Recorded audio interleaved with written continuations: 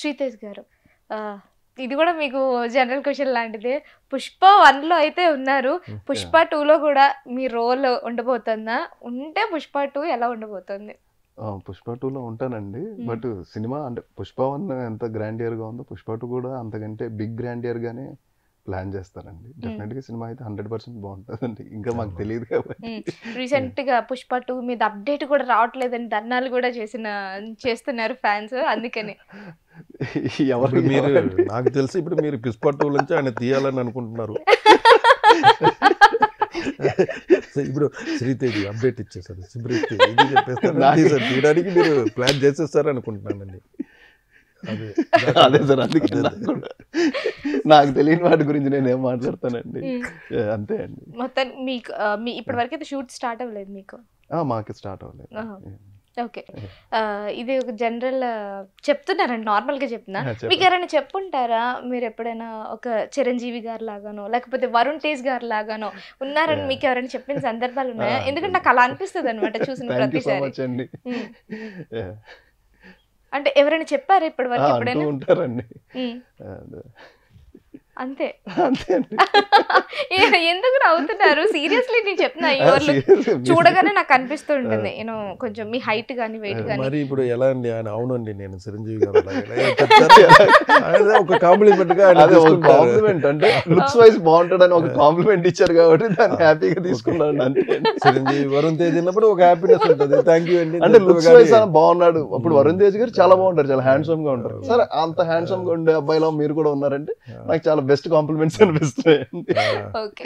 I mean మీరు ఇంతకు ముందు చేసిన క్యారెక్టర్స్కి ఈ క్యారెక్టర్కి కొంచెం డిఫరెన్స్ ఉంది. ఎందుకంటే షూటింగ్ స్పాట్స్ కూడా మీకు కొంచెం కొత్తగా ఉంది. ఏమైనా డిఫరెన్స్ తెలిసిందా అండి? అంటే డిఫరెన్సెస్ బిట్వీన్ ఇప్పుడు అంత ముందు చేసినప్పుడు పొలిటికల్ దేవినేని నెహ్రూ గారి క్యారెక్టర్ కానీ లేకపోతే రాజశేఖర రెడ్డి గారు అండ్ చంద్రబాబు నాయుడు. ఇది వదిలేస్తే తర్వాత నారప్ప. Hmm. నారప్ప విలన్స్. అది కంప్లీట్. అది కూడా విలేజ్ బ్యాక్ డ్రాప్ ఒక Hmm. Rich candidate. ఉమ్, సి అంటే క్యారెక్టర్ డిమైండ్స్ ఎలాంటి డిమైండ్ చేస్తుందో ఆ క్యారెక్టర్ తగ్గట్టుగా ఉండాలనేది నా ప్రిన్సిపల్ అండి. అంటే ఎలా ఉండాలి ఒక వాటర్ తీసుకొని ఆ వాటర్లో రెడ్ కలర్ వేస్తే రెడ్గా మారాలి. బ్లూ వేస్తే బ్లూగా ఉండాలి. అంటే యాక్టర్ కూడా ఎప్పుడు అలాగే ఉండాలి.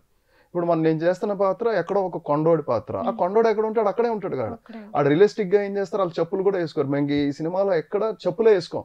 ఎక్కడ మేము గూడెంలో చేసిన క్యారెక్టర్స్ ఒక పెద్ద అనే ఒక క్యారెక్టర్ తప్ప మిగతా క్యారెక్టర్లు ఎక్కడ మేము స్లిప్పర్స్ వేసుకోవాలా? ఎస్పెషల్లీ నేనైతే అసలు ఇంకేసుకునేవాడిని కాదు. ఎందుకంటే రెండండి ఇక్కడ అలాంటి ఛాన్స్ రాదు. చెప్పులు వేసుకోకుండా నడిచే ఛాన్స్ మన ఎంటైర్ లైఫ్లో మళ్ళీ మళ్ళీ రాదు. అంటే నాకు ల్యాండ్తో ఒక కనెక్టివిటీ ఉంటుంది.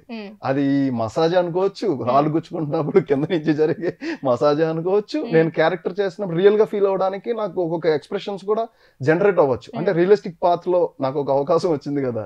దాన్ని ఇంకెంత బాగా చేయాలనేది నాకు ఇంటర్నల్ కసి అనమాట ఆ కసికి ఇవన్నీ కూడా నేను అడాప్ట్ చేసేసుకునేవాడిని. ఇంకెక్కడ కూడా అలా అలాగా నేను ఆ ఎన్విరాన్మెంట్ నా ఓన్ ఎన్విరాన్మెంట్ గానే ఫీల్ అయ్యాను నేను. అదే చాలా హ్యాపీ ఎందుకంటే అలాంటి ఛాన్సులు దొరకవండి. ఎందుకంటే మనం ఏమ- ఏదైనా ఫ్రెండ్స్తో వెళ్తే ఒక టెన్ డేస్ ఉంటాం లేకపోతే ఫోర్ డేస్ అలా సరదాగా తిరిగి వస్తాం కానీ ఉమ్, అంత నేచర్తో అంత దగ్గరగా అయిపోయి పొద్దున్న ఆరింటి నుంచి సాయంత్రం తొమ్మిదింటి వరకు లొకేషన్లో స్పెండ్ చేసి అక్కడ ఉండే ఒరిజినల్ ఆక్సిజన్ కానీ Hmm. రోజు మార్నింగ్ లెగిసి మనం ట్రీస్ చూసే ఈ ఛాన్స్ దొరకదండి. ఉమ్, ఒక యాక్టర్గా ఉండటం వల్ల సారీ ఈ సినిమాలో ఛాన్స్ ఇవ్వడం వల్ల. ఇదంతా చేయగలిగాం చూడగలిగాం. ఓకే. ఇందాక మీరు మాట్లాడుకున్నట్టు ఒక దేవినేని నెహ్రూ క్యారెక్టర్ గారు కావచ్చు లేకపోతే వైఎస్ రాజశేఖర రెడ్డి గారు చంద్రబాబు నాయుడు గారు ఇవన్నీ మీ ఏజ్తో సంబంధం లేకుండా ఏజ్కి మించి చేసిన క్యారెక్టర్లని నాకు అనిపించింది.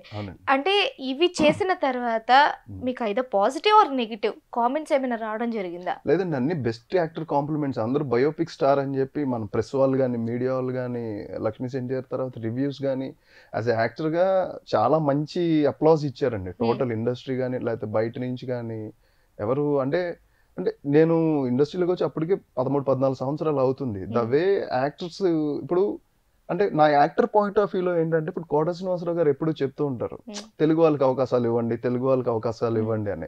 ఇప్పుడు ఒక అవకాశం వచ్చింది నేను కాదన్నాను అనుకోండి ఇంకొకళ్ళు ఎవరో చేస్తారు. వాళ్ళు కాదంటే ఇంకొకళ్ళు అంటే ఒక పని అయితే ఆగదు.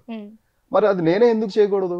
అనే పాయింట్ ఒక బర్నింగ్ యాక్టర్ని నాకు ఆ లైమ్ లైట్లోకి వచ్చి ఒక యాక్టర్గా గుర్తింపు తెచ్చుకోవాలనేది పాయింట్ కాబట్టి ఇప్పుడున్న జనరేషన్ ఆఫ్ కమ్యూనికేషన్స్ అవ్వచ్చు అన్ని కూడా అందరి దగ్గర నుంచి బెస్ట్ అప్లాజే వచ్చినాయండి. ఓకే.